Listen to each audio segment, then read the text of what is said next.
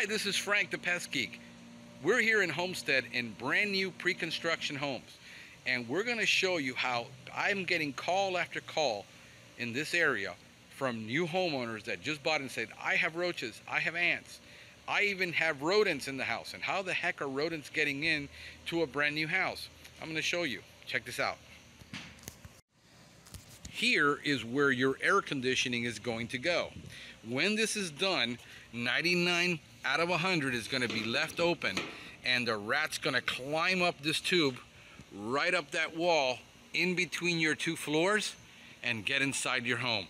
And what happens is there is plenty of rats, rodents, um, usually roof rat, all over this property because there is no rodent control being done.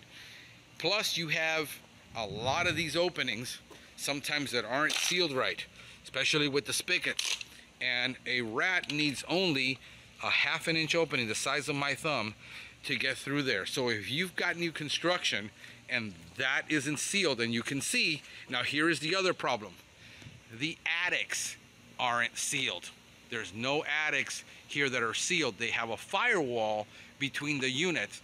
But if a rat goes up this unit, it's gonna go across the attic and come out into another unit. And you will hear them.